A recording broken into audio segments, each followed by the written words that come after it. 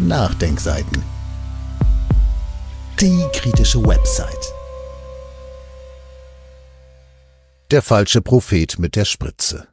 Von Rumen Mülkow. False Prophet ist der einzige Song auf Bob Dylans im Juni 2020 erschienenen Album Rough and Rowdy Ways, für den es zwei offizielle Musikvideos gibt. Eine grafikanimierte Version, die andere mit einem Standbild, das ein Skelett in Smoking und Zylinder zeigt, welches eine Spritze in seiner rechten Hand hält. In seiner linken Hand hält es ein Geschenk, das wegen seiner Schleife in Kreuzform auffällt. Aktuell bewirbt der Skeleton Dandy, dessen Schatten die Gestalt eines Mannes am Galgen hat, unter der Überschrift Things aren't what they were mit der Spritze in der Hand, nein, nicht die nächste Impfung, sondern die elf Deutschlandkonzerte des Künstlers im Oktober. Auch wenn ich mich nicht, wie der frühere Präsident Obama, als really big Fan von Robert Zimmerman, wie Bob Dylan eigentlich heißt, bezeichnen würde, kann ich mich dem Phänomen Dylan nicht entziehen. Seit meiner frühesten Jugend bin ich davon fasziniert, wie der näselnde Nichtsänger mit einfachen Harmonien und eher durchschnittlichen Melodien, die beim ersten Hören so gar nicht zu den anspruchsvollen Texten passen wollen, etwas Neues schafft, das viel mehr ist als nur die Summe seiner Einzelteile. Waren mir seine Texte anfangs egal, besteht mein bescheidenes Englisch heute zum großen Teil aus Dylan-Zitaten. In diesem Fall war es aber weder der Text noch eine Melodie und auch kein näselnder Sprechgesang, die meine Aufmerksamkeit auf sich zogen, sondern bereits beschriebener Skeleton Dandy mit der Spritze in der Hand. Außerdem der Titel False Prophet, am Ende aber dann doch der Text. Warum versucht Dylan, der von manchem bis heute als Prophet angesehen wird, der er nie sein wollte, uns plötzlich mittels eines Songs mit dem Titel Falscher Prophet vom Gegenteil zu überzeugen? I ain't no false prophet, I just know what I know. Dazu habe ich eine Presseanfrage an den Künstler gestellt, auch weil ich wissen wollte, was es mit dem Skeleton Dandy mit der Spritze auf sich hat, aber vor allem, wer der falsche Prophet ist. Meine Anfrage blieb unbeantwortet, was zu erwarten war, denn Dylan sagt in False Prophet auch What are you looking at? There's nothing to see. Im Juni 2020, die Corona-Zeit war noch relativ am Anfang, sagte der Künstler in einem Interview mit der New York Times, dass man auf verschiedene Weise über das Coronavirus denken könne. Wörtlich meinte er, ich denke, man muss ihm einfach seinen Lauf lassen. Dazu passt, dass er im Oktober 2021 auf weltweite Tour ging, nachdem auch er zuvor Corona-bedingt Konzerte absagen musste. Die Vorbereitung dieser Tour, die sich über drei Jahre erstreckt und erst Ende dieses Jahres offiziell endet, dürfte in eine Zeit gefallen sein, in der hierzulande Künstler und Künstlerinnen wegen ihrer Aktion alles dicht machen, viel Kritik einstecken mussten. Im New York Times Interview sagte Dylan auch, er denke über den Tod ganz allgemein und nicht auf persönliche Weise nach. Die lange, seltsame Reise des nackten Affen, ich will es nicht unterschätzen, aber das Leben eines jeden ist so vergänglich. Über die Pandemie äußerte sich der Musiker so. Ich denke, es ist ein Vorbote von etwas, das noch kommen wird. Extreme Arroganz kann verheerende Folgen haben. Vielleicht stehen wir am Abgrund der Zerstörung. Man kann Dylans düsternde Prognose auch als Zeitenwende interpretieren, um ein in Deutschland aktuell oft gebrauchtes Wort zu verwenden. Für Dylan selbst war das Attentat auf John F. Kennedy im November 1963 eine solche Zeitenwende. Nicht wenige halten Dylans kurz nach der Ermordung Kennedys erschienenen Song The Times There Are a Changing für den Soundtrack dieser Zeitenwende. Nur, obwohl der Song im März 1964 veröffentlicht wurde, hat Dylan ihn bereits im Oktober 1963, also einen Monat vor der Ermordung, aufgenommen. Hat sich Dylan, der sich so gut wie nie zu tagespolitischen Themen äußerte, schon damals als Prophet betätigt? Und tut er es mit False Prophet vielleicht erneut? False Prophet wurde im Januar und Februar 2020 eingespielt. Corona zeichnete sich damals gerade erst am Horizont ab. Interessant ist in diesem Zusammenhang, dass er im Text nicht nur feststellt, I ain't no false prophet, I just know what I know, sondern auch I know how it happened, I saw it begin. Im Interview mit der New York Times im Juni 2020 scheint Dylan auf dieses Wissen zurückzugreifen, wenn gleich indirekt. Der 83-Jährige sagt dort, dass es viele Gründe gibt, sich Sorgen zu machen. Es gebe heute definitiv mehr Angst und Nervosität als früher. Dies gelte aber nur für Menschen seines Alters. Ältere würden eher dazu neigen, in der Vergangenheit zu leben, so Dylan. Junge Menschen hätten diese Tendenz nicht, denn sie haben keine Vergangenheit, also wissen sie nur, was sie sehen und hören und sie glauben alles. Dylans Antwort bezog sich auf eine Frage zu seinem Song Murder Most Foul, der wie False Prophet und I Contain Multitudes schon Wochen vor der offiziellen Veröffentlichung von Rough and Rowdy Ways online gestellt worden war.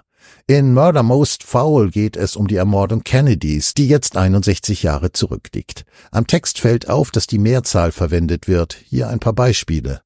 Du hast unbezahlte Schulden und wir sind hier, sie einzutreiben. Wir töten dich mit Hass ohne jeglichen Respekt. Wir haben bereits jemanden, der deinen Platz einnehmen wird.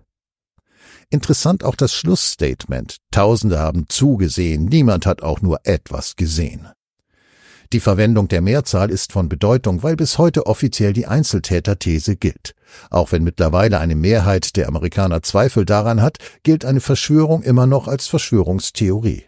Obwohl damit die Frage im Raum steht, ob Dylan vielleicht ein Verschwörungstheoretiker ist, scheint die Verwendung der Mehrzahl kaum jemandem aufgefallen zu sein. Ähnlich verhält es sich mit der Spritze, die das Skelett in Smoking und Zylinder auf den Plakaten in der Hand hält, mit denen die Konzerte der Welttournee des Musikers beworben werden. Niemand scheint sie wirklich bemerkt zu haben. Der Urheber des Bildes könnte Dylan selbst sein, denn der Stil ähnelt den Siebdrucken seiner Ausstellung Revisionist Art. Als Vorlage diente offensichtlich das Shadow Magazine vom Mai 2015. Das Cover mit dem Titel Death About Town zeigt genau denselben Skeleton Dandy, nur seitenverkehrt. Anstelle der Spritze hat dieser eine Zigarette in der Hand, in der anderen eins zu eins das Geschenk mit der Schleife in Kreuzform. Der Schatten des Skeleton Dandy dort ist ein Mann mit Hut, der anstelle der Zigarette eine Pistole in der Hand hält. Über den Schatten des Skeleton Dandy von False Prophet gibt es Spekulationen, dass dieser wegen seiner Frisur Donald Trump am Galgen darstellen könnte. Wahrscheinlicher ist, dass auch der Schatten abgekupfert wurde, und zwar von einem anderen Magazin namens Black Mask im Mai 1943. Selbst bei der Musik zu False Prophet soll sich der Künstler, in dem Fall sicher Dylan selbst, anderweitig bedient haben, wie das National Public Radio im Mai 2020 berichtete. Demnach klingt False Prophet furchtbar alt und vertraut. Der Song soll ein Gitarrensolo und andere Elemente einer Single aus dem Jahr 1954 von Billy the Kid Emerson, einem Pianisten, Sänger und Komponisten enthalten. Dass Dylan sich musikalisch, manchmal auch textlich bei anderen bedient, ist kein Geheimnis. So gesehen ist der Rückgriff beim Bild zu False Prophet auf bereits vorhandene Cover keine Überraschung. Wie bereits angekündigt, ist das Bild auch der falsche Weg, sich einen Reim auf das zu machen, was der Künstler sagen will. Spätestens seit der Verleihung des Literaturnobelpreises ist es offiziell. Bob Dylan ist vor allem ein Mann des Wortes. An solchen sollte man ihn beim Wort nehmen, auch wenn dies nicht immer einfach ist, denn oft spricht er in Gleichnissen meinte Dylan 1964 in The Times There Are Changing noch, For the loser now will be later to win, diagnostizierte er der Welt 1988 World Gone Wrong, um im Jahr 2000 im Oscar-prämierten Things Have Changed resigniert festzustellen, People are crazy and times are strange. I used to care, but things have changed. Mit anderen Worten, nicht die Zeiten, sondern die Dinge haben sich geändert und Dylan mit ihnen. Eines ist möglicherweise beim Alten geblieben, und zwar das, was der frühere Präsident Obama sagte, als er Dylan 2012 mit dem Medal of Freedom ehrte, eine der höchsten zivilen Auszeichnungen der Vereinigten Staaten. Bei dieser Gelegenheit outete er sich nicht nur als a really big fan, sondern stellte darüber hinaus über Dylan fest, He is still searching for a little bit of truth.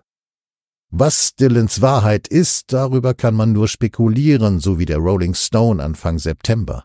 Da spielte Dylan plötzlich einen Song live, den er 20 Jahre lang nicht auf der Bühne gespielt hat. Kurz zuvor hatte der frühere Präsident Obama genau diesen Song auf die Liste seiner Sommersongs gesetzt. Der Rolling Stone vermutet einen Zusammenhang. Da Dylan nicht dafür bekannt ist, seine Beweggründe für Dinge preiszugeben, musste das renommierte Musikmagazin am Ende resümieren, wir können nur spekulieren. Auch ich kann nur spekulieren, warum man sich mit solchen Banalitäten beschäftigt und nicht mit der Frage, warum in und unmittelbar nach einer Pandemie, in der das Überleben der Menschheit von einer Impfung abgehangen haben soll, ausgerechnet ein Skeleton Dandy mit einer Spritze in der Hand, der zu einem Song mit dem Titel False Prophet gehört, ein Plakat ziert, welches weltweit Werbung für ein Rockkonzert macht. Das aktuelle Aufregerthema ist übrigens immer noch das Handyverbot auf Dylan-Konzerten. Viele Konzertbesucher interessieren sich vor allem dafür, in welchem musikalischen Gewand Dylan seine Songs diesmal vorträgt. Bilder und Texte sind eher Nebensache. Manche bringen die Spritze mit Dylans Heroinsucht Anfang der 60er in Verbindung. Dagegen spricht, dass der Künstler nicht dafür bekannt ist, zurückzublicken.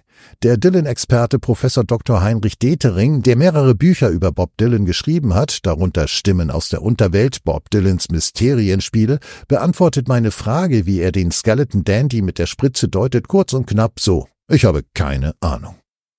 Auch ich habe keine wirkliche Ahnung. Ich würde es aber nicht ausschließen, dass Dylan die Antwort selbst gibt, und zwar in seinen Worten. Vielleicht ist es diese. Sie haben keine Vergangenheit, also wissen Sie nur, was Sie sehen und hören, und Sie glauben alles. Oder diese. Tausende haben zugesehen, niemand hat auch nur etwas gesehen. Oder einfach nur Things aren't what they were.